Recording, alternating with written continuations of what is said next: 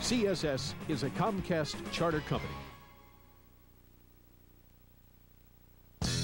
Tennessee Football Classics, Vintage Orange, is brought to you by First Tennessee Bank, the official bank of the Vols, by State Farm Insurance, and the more than 400 State Farm agents in Tennessee who support volunteer football. Like a good neighbor, State Farm is there. By Ford and your Tennessee Ford dealers, where you'll find quality people, quality products throughout Tennessee. And by Budweiser. Choosing a designated driver is always a good game plan. 1964, Doug Dickey took over the Tennessee program as head coach. His first Tennessee team went 4 5 and 1. Not much was expected in 1965, but Tennessee surprised a lot of people. Picked to finish ninth in the Southeastern Conference, Tennessee went 8 1 and 2 and wound up with a bid to the Bluebonnet Bowl. So in 1966, expectations were creeping up even higher for the Tennessee football program. Led by some great names in Tennessee history, Paul Naumoff, the quarterback, the swamp rat, Dewey Warren, Austin Denney, and All-American punter Ron Widby, Tennessee was expected to build off that success in 1965. So now here's a look back at the 1966 Tennessee Volunteers, narrated by the Vol Network's George Mooney. The fans dearly love to watch these exciting volunteers of Coach Doug Dickey. For the third straight year, as many seasons as Dickey had been head coach, they set new attendance records at Knoxville's Neyland Stadium with crowds averaging 46,000. Another 245,000 fans saw the Vols play away from home, including 60,000 at the Gator Bowl.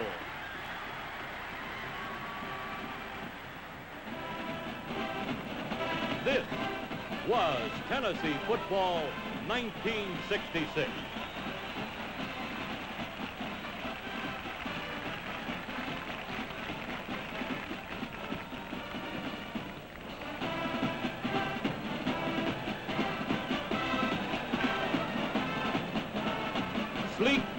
Horses provided pageantry at all Tennessee.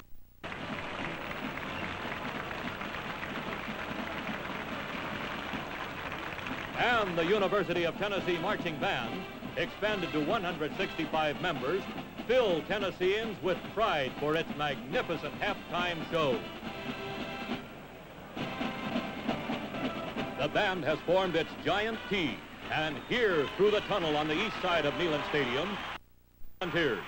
They are led by their co-captains, end Austin Denney, linebacker Paul Naumoff, who joined two other Tennessee players, center Bob Johnson and punter Ron Widby, in achieving All-America recognition. Handling the reins of the volunteers, head coach Doug Dickey and a dedicated staff of assistants. Pork chop, meat, mashed potatoes. Now let's get acquainted with these 1966 volunteers. First, the offensive starting unit. The tight end, Austin Denney, co-captain, an All-America from Nashville who set a new Tennessee record for touchdown passes caught.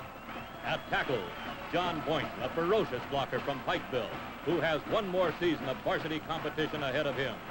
At guard, Charles Rosenfelder, one of an outstanding group of sophomores who played a vital role for the Volunteers. Charles from Humboldt was named to the Southeastern Conference All-Sophomore team. The center was Bob Johnson, an unerring snapper and strong blocker who, in only his junior season, was chosen an All-America. Bob's home is Cleveland, Tennessee. At the other guard position was Elliot Gamage, a scrambling junior from Cedartown, Georgia, one of the most improved members of the squad. Terry Bird, senior tackle from Elizabethtown, Kentucky, one of the smallest linemen, but with a world of heart and an all-out dedication to the game. The split end, Johnny Mills, whose amazing pass-catching deeds earned him a place in the 1966 All-Southeastern Conference team. John is a senior from Elizabethton, Tennessee. At quarterback, pressure-proof Dewey Warren, the fantastic swamp rat from Savannah, Georgia. Dewey was the key to the Vol's record-shattering passing attack. The tailback was Charles Fulton, an elusive, fast-moving junior from Memphis. His credentials included a rushing average of better than four yards a carry. At wingback for the Volunteers was Richmond Flowers, a speedster from Montgomery, Alabama, who worked hard to develop into one of the Vol's most sure-handed pass receivers. Richmond was an all-conference sophomore. Fullback Richard Pickens, a sophomore from Knoxville, contributed to the Vol running game with a five-yard average. The coaches credited Richard's crisp blocking for much of the success in Tennessee's exciting offense. Now here are the members of the starting defensive unit. At end, sophomore from Gates City, Virginia, Neil McMeans. At a most difficult position, McMeans came through with a steady performance week after week. At tackle, Dick Williams from Greenville, Tennessee. Another sophomore whose steady improvement earned him a first-team assignment. The middle guard was Bobby Morrell, the stubborn senior from College Grove. A determined pass rusher, Bobby also stood his ground against the running attack. At tackle, Derek Weatherford, a junior who combined recklessness with unusual strength in the middle of the Vol line. Weatherford's home is in Darlington, South Carolina. The other defensive end was manned by Nick Showalter of Kingsport. The Vols benefited from outstanding play provided by sparkling sophomores Showalter and McMeans. The heartbeat of the stout Tennessee defense was Paul Naumoff, co-captain from Columbus, Ohio. Paul moved from end to linebacker and in only one season advanced to All-America status. Naumoff's running mate, Doug Archibald, a native of Sarasota, Florida.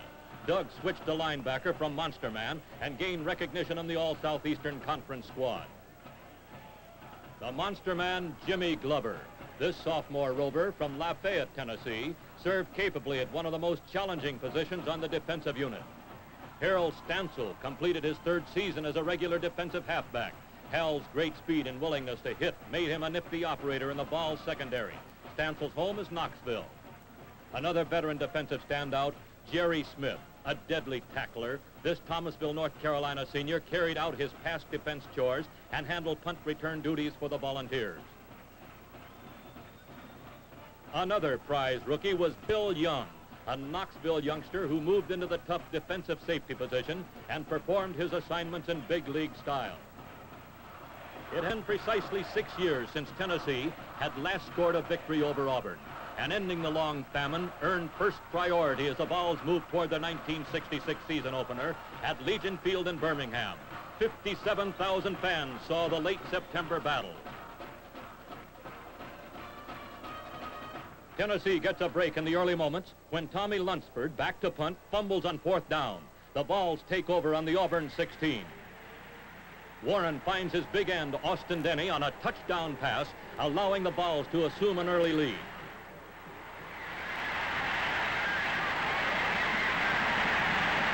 Junior Gary Wright, place-kicking specialist, boots it over the crossbars. Wright connected on 28 out of 29 extra point attempts during the season and was the Vol's second leading scorer. Rookie Bill Young picks off one of three interceptions made by Tennessee, ending an incipient Auburn drive in the second quarter.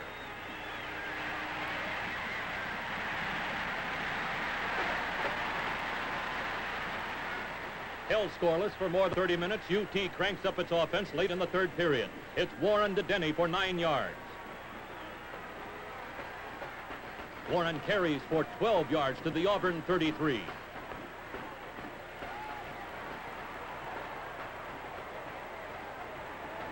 A pass from Warren to Mills moves Tennessee inside the Tiger 25-yard line. Sophomore fullback Richard Pickens keeps the drive going with a pickup of nine more yards.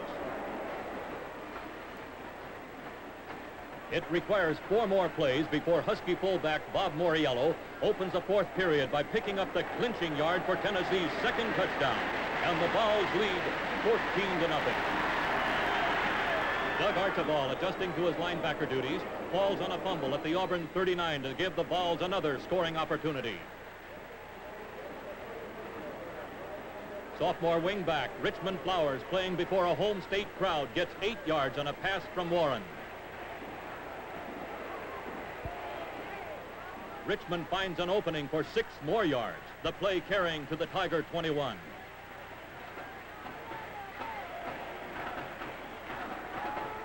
The clutch combination of Warren to Denney, which accounted for a record seven touchdowns, strikes dirt two plays later.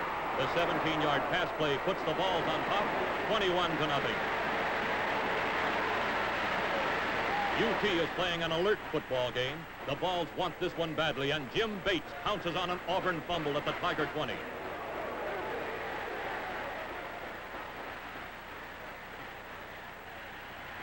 Less than two minutes are left in the game when veteran quarterback Gallipa loops one over the secondary to end Terry Dalton. It's a glorious 28 to nothing Tennessee victory. The Big Orange's first conquest of Auburn since 1960.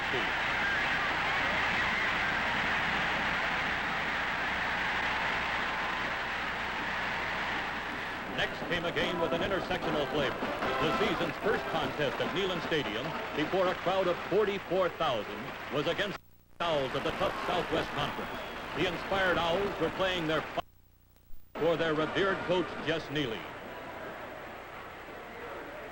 The most spectacular play of the game, Warren's arching pass to his wingback Fulton catches Rice off guard and picks up 44 yards to the 13.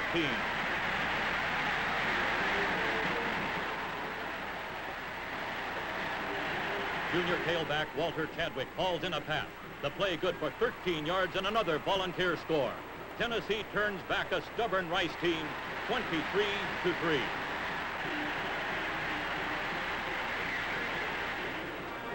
Two of the Southland's great powers met at Grant Field in Atlanta before a sellout throng and a national TV audience. Georgia Tech, combining brilliant passing and running attacks, presented a special challenge to the proud volunteer defense. It was a bruising battle and an epic defensive struggle. Gary Wright enters the game and comes through with a 27-yard field goal that puts Tennessee ahead 3 to nothing. With Tech unable to penetrate the Vol defense, Bunky Henry again comes on to kick a field goal. This one a 41-yard shot. That is the longest of his career. The titanic defensive battle continues the rest of the game. Tech hands the Volunteers their first loss of the season, 6 to 3. Defending national champion Alabama brought an undefeated team to Neyland Stadium in mid-October. The largest crowd ever to see a sports event in Tennessee, 56,000 fans, sat through an almost continuing downpour to watch a battle of gigantic proportions and a never-to-be-forgotten fourth quarter. The rain-slippery football pops out of an Alabama back's hands and into the clutch of the Vol's Derek Weatherford. The big tackles recovery puts Tennessee in business early at the Tide 23.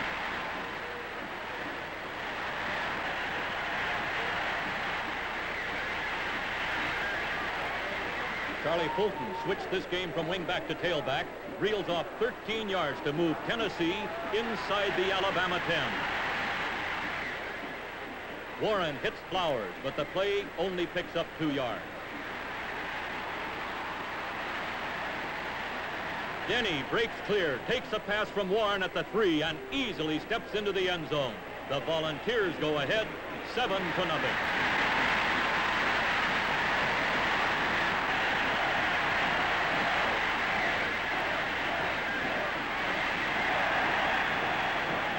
Widby, the nation's greatest punter who ended the season with a 43.8 average, keeps the Tide bottled up with a 54-yard beauty that Walter Chadwick downs on the Alabama 3.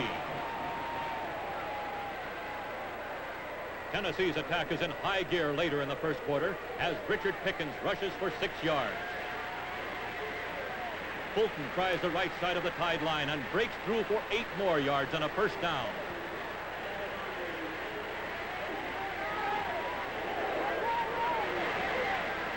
The Alabama line stiffens at the 23, bringing a decision to go for the field goal. Gary Wright makes it good from the 40, and Tennessee leads 10 to nothing at the end of the first quarter. An Alabama threat midway through the second period fails to produce any points as Ken Stabler fumbles and Paul Naumoff pulls in the loose football.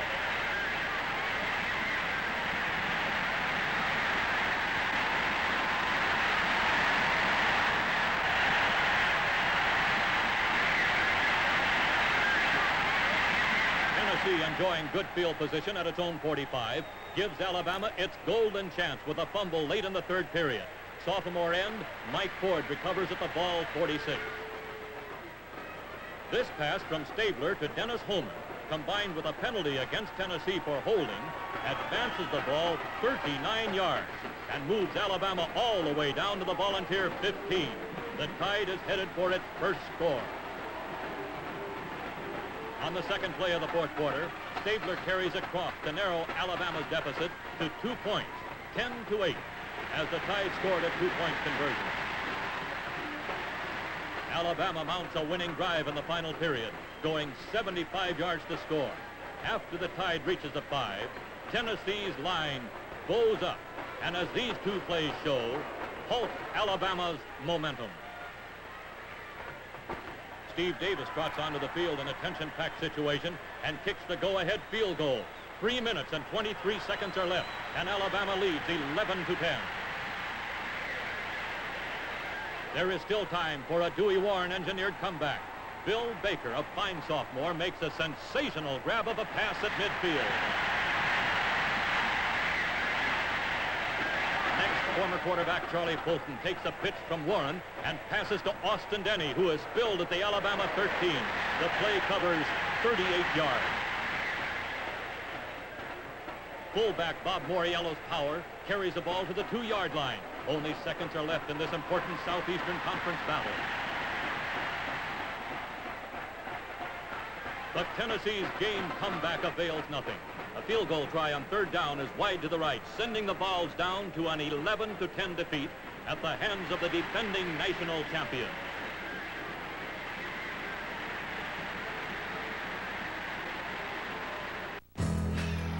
Now, your first real UT fan shot. The fighting Gamecocks of South Carolina came across the mountains to Knoxville, ready to play a football game. They put forth a gallant effort that tested the ability of the volunteers to rally their forces and come from behind. The contest played at Neyland Stadium counted in SEC standings. The Vols trail 11 to nothing when a break late in the second period gives them a chance to get back in the game. Naumoff recovers a fumble at the Gamecock 36. Fulton sweeps in for 10 yards, moving the ball to the 21.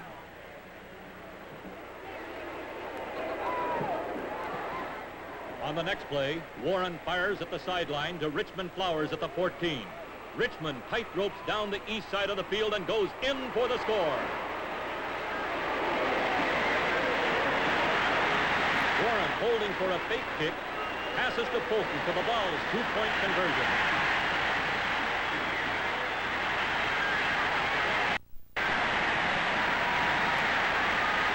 Trailing 11 to 8 as the third quarter opens, Tennessee gains possession in Carolina territory when Mike Fair, under terrific pressure from Neil McMeans, throws a pass that is intercepted by Jerry Smith.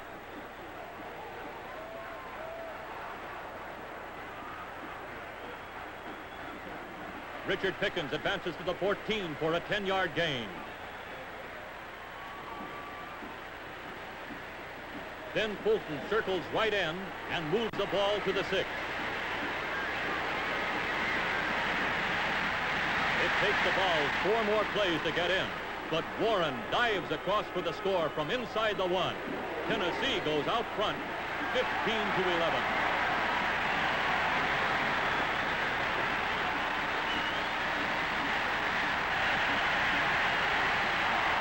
Tennessee, playing a strong second half, cashes in on another opportunity in the final period when defensive back Carol Stansel's interception gives the Vols the ball and stops a Gamecock drive.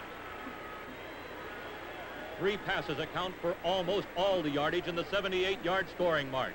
Warren starts the aerial fireworks with an eight-yard throw to Chadwick. Warren spots Flowers, and the sophomore wingback gets the ball into Gamecock territory, reaching the 37.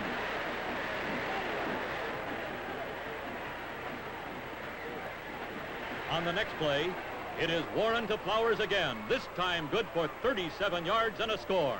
South Carolina scores as the game ends, but Tennessee has posted its third victory, a 29-17 verdict in an interconference match. Memphis, site of the memorable 1965 victory over UCLA, turned out nearly 50,000 fans for the Vols encounter with fast-developing Army. The Cadets, under new coach Tom Cahill, had suffered only one defeat, and that to eventual national champion Notre Dame. A beautiful piece of running by Charlie Fulton produces a score, the play covering 28 yards. The touchdown combined with an earlier field goal by Gary Wright gives Tennessee a 10-0 lead early in the second period.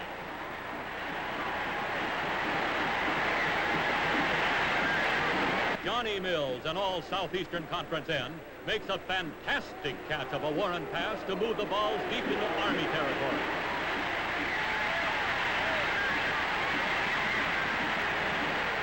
Fulton crosses the goal over left tackle, enabling Tennessee to carry a 17-0 lead into intermission.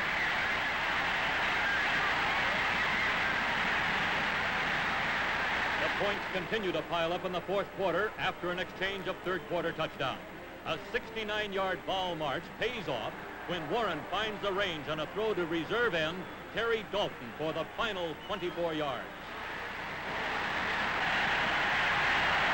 Sophomore defensive end Nick Showalter climaxes a solid Tennessee performance by grabbing a deflected Army pass and scampering 43 yards for the game's final touchdown. Tennessee rolled past Army with a fine blend of offense and defense by a score of 38 to 7.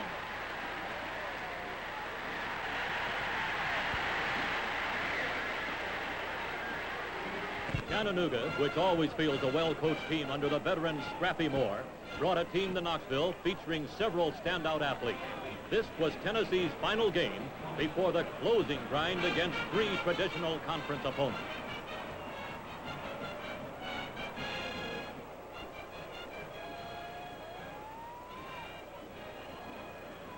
Tennessee unexpectedly behind at the half 10 to 7 goes to work in the third quarter to get on the scoreboard again. Here, Charlie Fulton rambles for 11 yards. Warren fires to Mills, and the big end just misses in his efforts to cross into the end zone.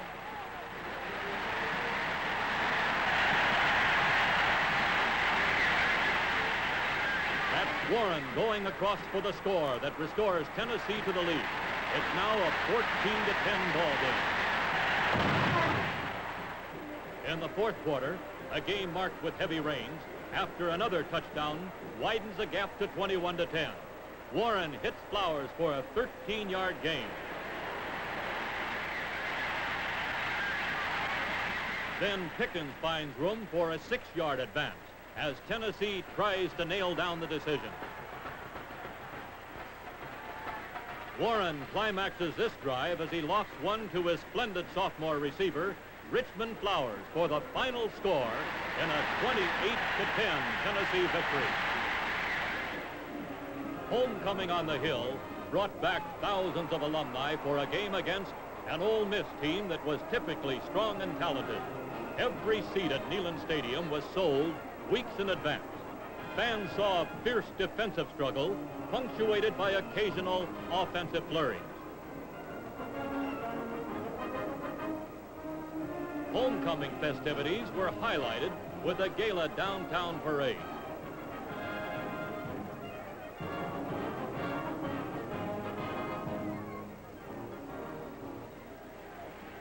Two big plays give the Rebels their first touchdown following the interception of a Tennessee pass. Late in the first half, on the tackle eligible call, Bob Vaughn hauls in a Bruce Newell toss at the 22. Wingback Bruce Matthews outmaneuvers the Vol secondary, gets clear in the end zone, and is waiting for Newell's perfectly timed pass. Ole Miss goes on top, 7 to nothing. Reasoning that nothing succeeds like success, Warren stays with a winner and fires the touchdown pass to Denney. A shutout is averted as Ole Miss downs the Volunteers 14 to 7.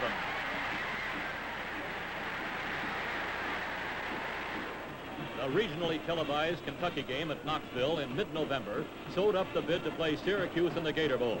In a series distinguished by surprise happenings, the Vol Wildcat battle produced a rare harvest of football thrill.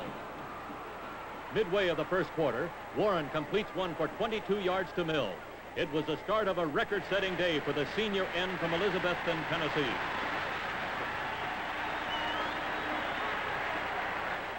As he does so often when pay dirt is near, Warren looks for Austin Denney for the final three yards, and Tennessee goes out front seven to nothing. Here's a spectacular run back of a punt in the second quarter. Dickie Lyons, brilliant Kentucky sophomore, fields Ron Widby's punt at his 28. Lyons follows his blockers perfectly and races 72 yards for the tying touchdown.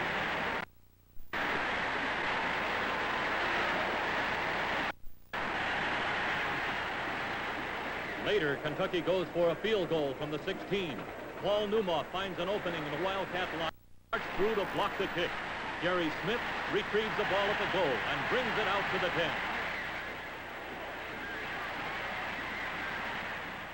Kentucky comes up with another big play before the end of the half. Terry Beadle's pass is hauled in by Larry Seiple, who carries to the two before he's overtaken by Jerry Smith.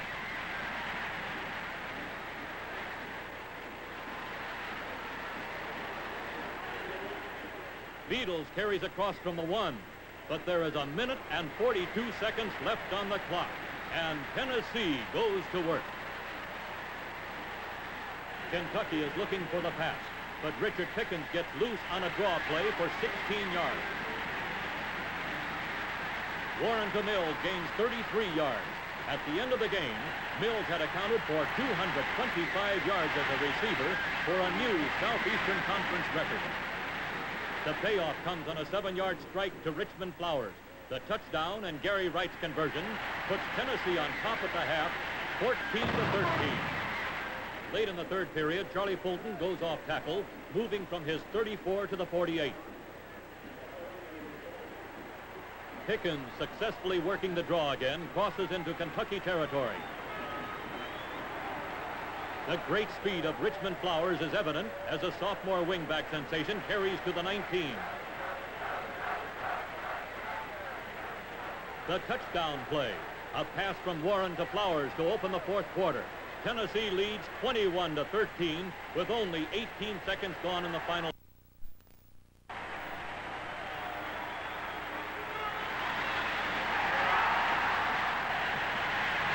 next highlight comes when Mills catches a Warren pass at the 35 and goes the rest of the way for a touchdown. The play covers 72 yards. Setting Mills free is a sensational block by Flowers, who comes on like a streak to end assistance.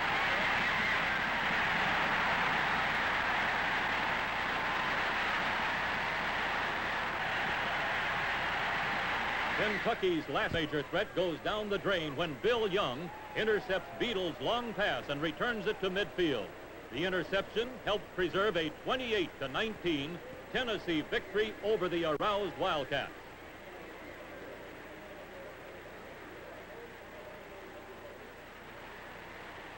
A big rivalry for Tennessee each year is the intrastate series with Vanderbilt. The Vols went to Nashville looking for a victory that would allow them to take a record of seven wins against three losses into the Gator Bowl game. All Tennessee seniors are present at midfield for the toss of the coin. The Vols waste no time trying to salt this one away. On the second play of the game, Fulton goes for seven yards. Warren gives an example of his versatility by picking up nine yards around left end.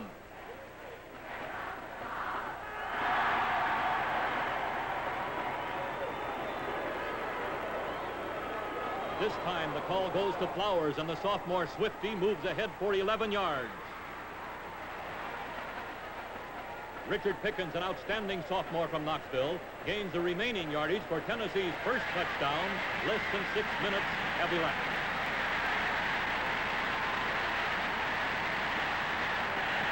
Tennessee advances from its own 44 to a second touchdown, highlighted by this pass from Warren to his top receiver, Johnny Mills. Warren circles end and goes in for the score to put Tennessee on top 14 to nothing.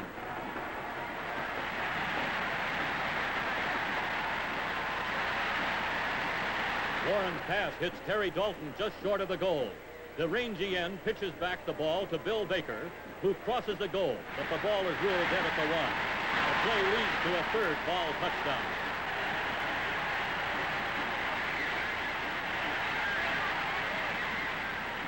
Here Warren again skirts in and goes in to score, giving the Volunteers a 21 to nothing lead in the first quarter.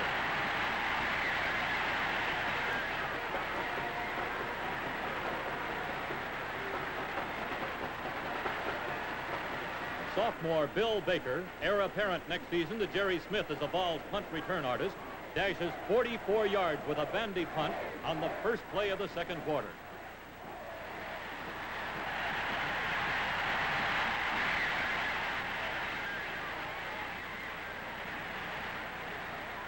Bobby Morrell, a Middle Tennessee boy playing his final regular season game, is a terror on defense. After blocking two Vandy passes, Bobby chokes off a Commodore drive with a fumble recovery at the 19. Tennessee sweeps 81 yards. Here is a Warren pass to Mills, who moves in for an apparent score. But the play is called back because of offsetting penalties. Undaunted, Warren makes it look easy as he fires again to Mills, whose catch closes out the scoring. Tennessee routs Vanderbilt 28 to nothing to set the stage for the Gator Bowl trip. Well, hello, Mr. Fried Cat.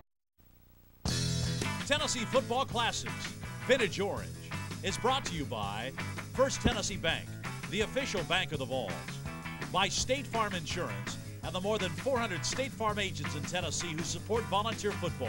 Like a good neighbor, State Farm is there.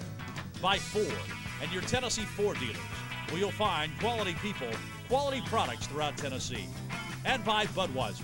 Choosing a designated driver is always a good game plan. So after Tennessee's disappointing loss to the Ole Miss Rebels, the Volunteers bounced back in 1966 with strong efforts, winning against Kentucky and then shutting out the Vanderbilt Commodores 28 to nothing to finish the regular season 7 and 3. That set up a meeting with Syracuse in the Gator Bowl, and it set up one of the classic moments in Tennessee football history, a dramatic confrontation between Paul Naumoff and Larry Csonka of Syracuse. Dick Stratton calls the plays of the 1966 Gator Bowl.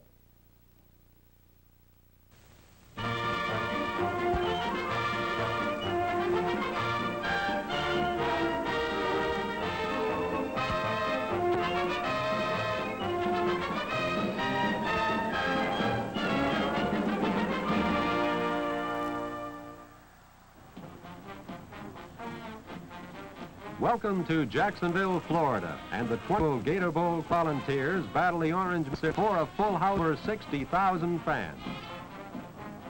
Tennessee with a 3 record brings to Jacksonville a powerful offense. It's directed by junior quarterback Dewey Warren. Strong end co-captain Austin Denney grabbed seven touchdown passes this year. Speedster Richmond Flowers caught 35 passes and scored five TDs. And All-America linebacker Paul Naumoff is the most highly regarded defender in Dixie. Doug Dickey on the left is only three years as head coach of Tennessee, has already taken his teams to two bowl games. Benny Schwartzwalder has been 18 years as head coach at Syracuse. His teams have been Eastern Kings four times, national champs once, seven times in bowl games. Syracuse, with an 8 and 2 record, is strong on fundamentals, long on rushing. Offense geared to the running of All-America Floyd Little, along with Larry Csonka. There's a 12.15 p.m. kickoff time today on the ABC television network, and here comes Syracuse. Tension is mounting now. Tennessee is ready to go. As the team captains come onto the field, I turn the microphone over to your play-by-play -play announcer. The Gator Bowl 1966, the 22nd annual event bringing together Eastern Power Syracuse and one of the best in the South, the University of Tennessee. Tennessee winning the toss of the coin as a record crowd of over 60,000 gets ready for the exciting Gator Bowl action.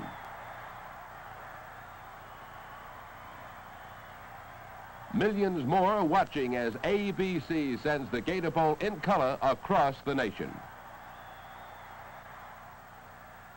Tennessee on the receiving end of the kickoff, Austin Denney on the return, but Denney fumbles, and Tony Kyasky recovers for Syracuse. A break for the Orange men early at the Tennessee 38.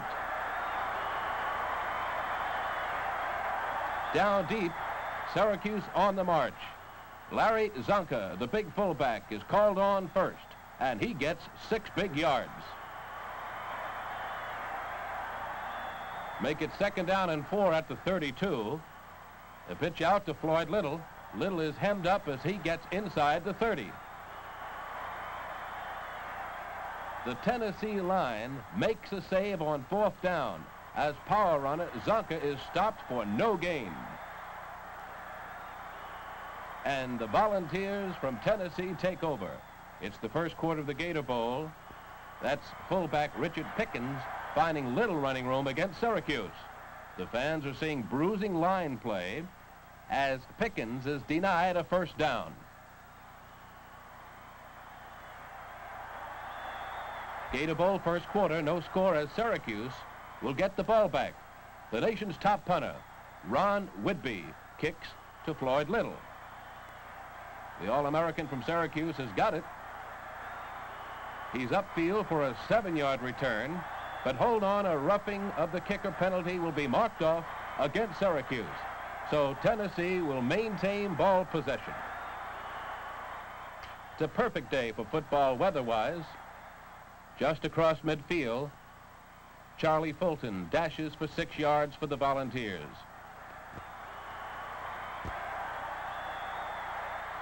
Here comes tailback Fulton again. This time it's a plus three. Gator Bowl action at its very best. Syracuse and Tennessee in the 1966 edition. Tennessee needs one yard for the game's first first down, and Chadwick gets it the hard way. Gator Bowl first quarter, no score. Tennessee at the Syracuse 39. The quarterback, Hall of Famer Dewey Warren. He goes to the air and hits Johnny Mills. And that means a nine-yard advance. At the 29 of Syracuse, Warren fakes and carries himself to gain another first down for the Volunteers. Both teams can move the football, and Tennessee is proving it. A Warren to Mills pass. On target for a good gain. From 14 yards away from a touchdown, Warren aims for Mills. It's off the fingertips, incomplete. A holding penalty moves the ball back to the 29, where Warren takes aim again. Austin Denney has it for 19 yards and a near first down. It's third down. Quarterback Warren goes to the air again for the big one. But his toss is off the target. On fourth down, Gary Wright comes into the game. And Wright toes a perfect field goal from 36 yards out. And the University of Tennessee takes a 3-0 Gator Bowl lead over Syracuse.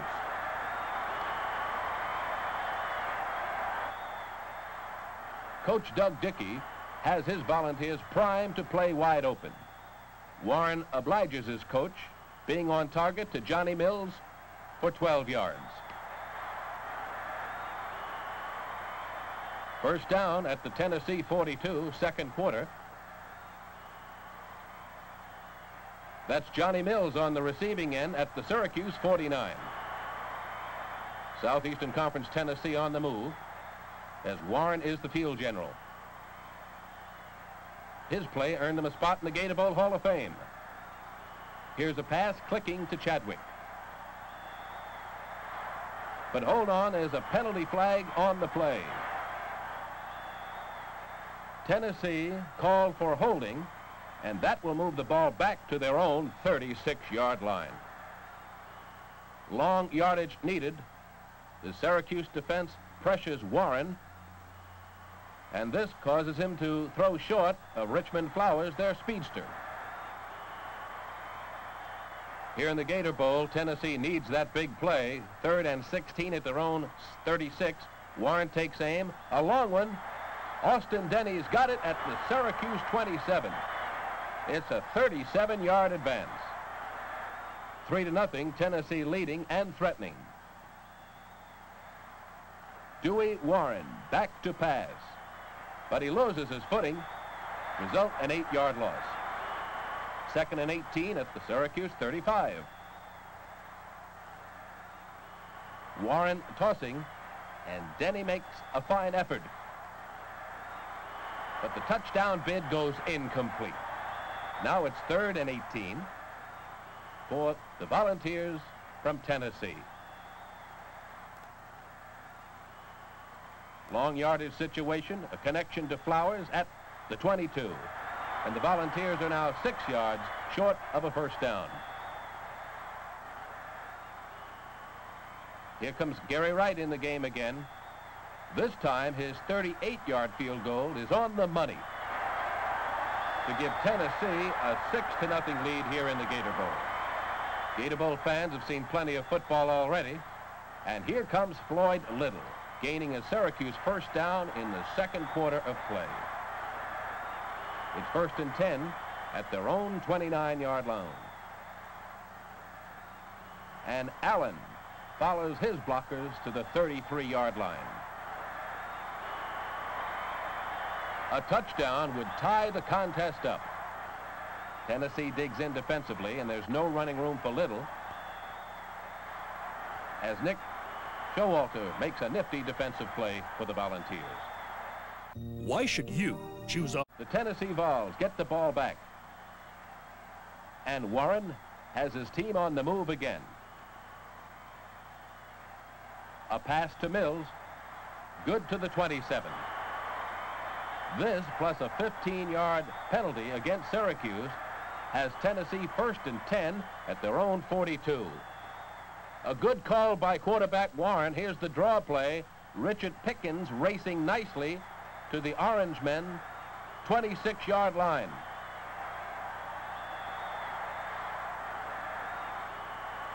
And here, football fans, is a close-up look at the 32-yard gain.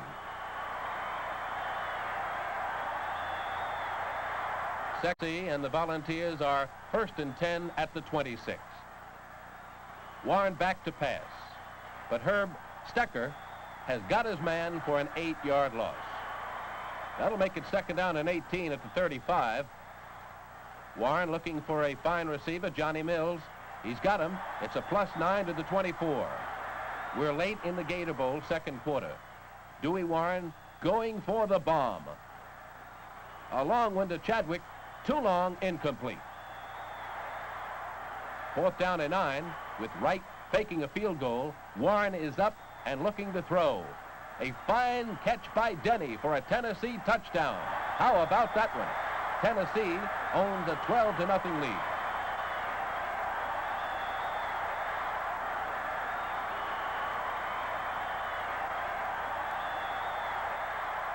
And Coach Doug Dickey will have his squad going after two points following the touchdown.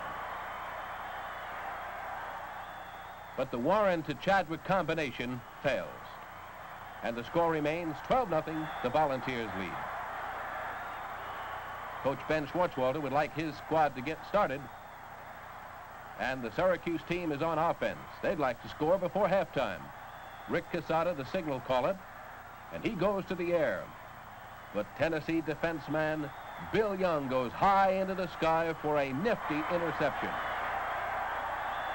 He returns it down to the Syracuse 30.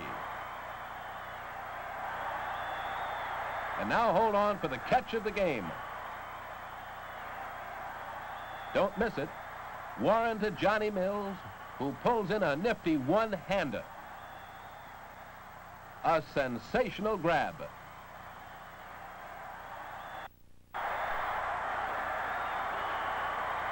But a penalty will take it from the records. What a catch. That really has the fans humming. Illegal use of the hands moves the ball back to the 44-yard line. Tennessee leading 12-0 and wanting more. Warren is having quite a day. And Richmond Flowers makes quite a catch at the two-yard line.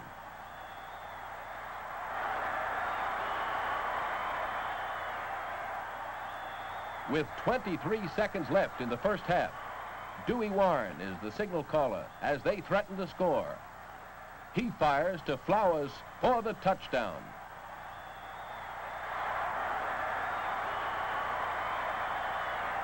And the men from Tennessee take a halftime lead over Syracuse, 18 to nothing, in the 22nd annual Jacksonville, Florida Gator Bowl. And after that action-packed first half, all eyes are focused on the University of Syracuse marching band.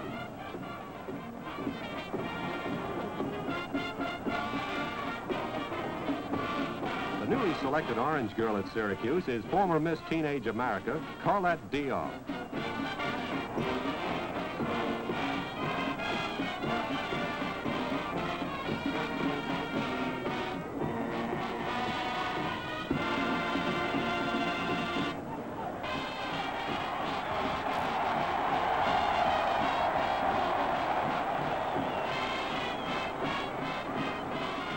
Syracuse band receives a warm show of appreciation.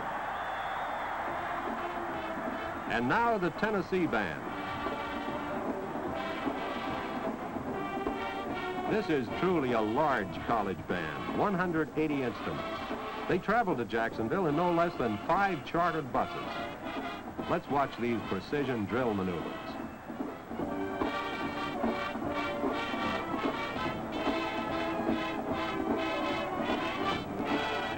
Packed house at the Gator Bowl shows the Tennessee band what they really think.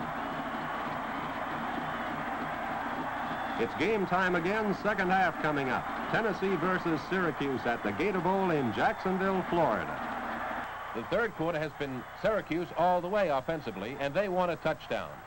From eight yards away, Csonka powers over for the touchdown. Syracuse controlled the ball for over eight minutes in the third quarter. And here's the touchdown again by Larry Csonka. Gator score, Tennessee 18, Syracuse 6, and the Volunteers own the football again. Warren through the air to Johnny Mills, and Mills races into Syracuse territory to the 27. The balls are airborne again, but the pressure is on, and Warren tosses incomplete. Tennessee down fairly close, second and 10. A quick pass to Denney is on target. The advance to the 20. The Tennessee team is out to increase their lead here in the Gator Bowl. A pitch back to Chadwick. He's inside the 10, but hold on, he comes loose from the football. It's a Thomas recovery for Syracuse. Third quarter, Tennessee 18, Syracuse 6. And another chance for the Orange men of Syracuse. Here's Floyd Little off on one of his specialties. He's not hauled down until he reaches inside the 25-yard line. A 54-yard dash, plus 15 more yards against Tennessee for grabbing the face mask. Syracuse threatening near the 10. The give is to Csonka, who crashes for just two yards. Tennessee line is tough, second and eight at the 10. Floyd Little has running room behind the blocking to the five. The third quarter is history. Tennessee owns the lead, but the men of Syracuse are providing quite a second half battle. It becomes fourth down. Syracuse needs three. Allen will be called on. He's around left end. But Showalter makes another fine defensive gem. A goal line stand by the Volunteers ends the Syracuse charge. 18 to 6, Tennessee leading, and they're on offense again. They're playing it wide open. The toss goes to Flowers. Final quarter of play as Walter Chadwick charges for seven yards to the 25. On third down, Tennessee has a drive going. But this Warren pass ends up in the hands of defender Tony Kyasky. 18 to 6 Tennessee with a big chance now for Syracuse. From near the 10-yard line, Syracuse has it. With a double handoff, Allen ends up on the carry, and the football goes flying again. And Tennessee gets the ball right back. Change of events. At the 14-yard line, first and 10, Warren passes to Flowers, who charges across the 20. The Volunteers of Coach Doug Dickey need less than a yard, and quarterback Warren gains the first down despite the heavy traffic. The boys from Tennessee go airborne. This Dewey Warren toss is broken up, however, by the secondary of Syracuse. On third down, another aerial, but the on-charging linemen of Syracuse cause an incompletion. And Syracuse will get the football back. They lose little time sending Little on his way. It's a gainer a long one near midfield. From their own 47, Tom Coughlin gets the ball into Tennessee territory. Fine run. 18 to 6 Tennessee with Syracuse showing a devastating ground attack. Fullback Csonka crashes for 15 and another first down. First and 10 to 36. The blocking is good up front. Csonka again downfield for a big gain. Now a nine-yard advance at the Tennessee 27. The first down assignment goes to Little. He carries out the order to the 25.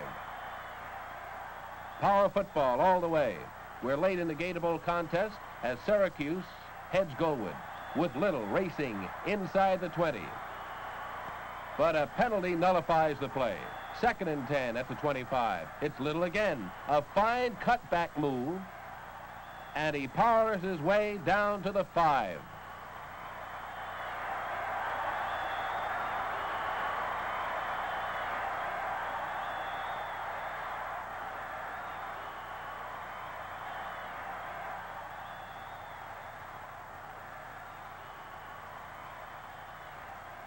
First and goal at the five. Fullback Csonka is straightened up with a jarring tackle by All-American Paul Naumoff of Tennessee. The drive ends with All-American Floyd Little scoring. The second touchdown of the second half for Syracuse. And the score is now 18 to 12. Tennessee leading with little time left. The Orangemen try for two, but their bid fails. And there's not much time left in this Bowl game of 1966. There's All-America, Floyd Little. A last effort to try for the win as Syracuse attempts an onside kick, but Tennessee is alert and recovers as the 1966 Gator Bowl game comes to a close. The University of Tennessee and Syracuse University, again in typical Gator Bowl style, thrill the football fans with of excitement. Tennessee winning the 22nd annual edition of the Gator Bowl in Jacksonville, Florida, 18 to 12. It was a classic moment. Doug Dickey being carried off the field by his players after Tennessee won that 1966 Gator Bowl over Syracuse.